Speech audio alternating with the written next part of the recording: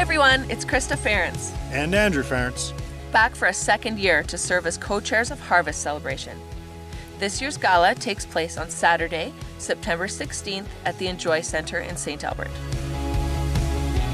Sponsored by Syncrude Canada.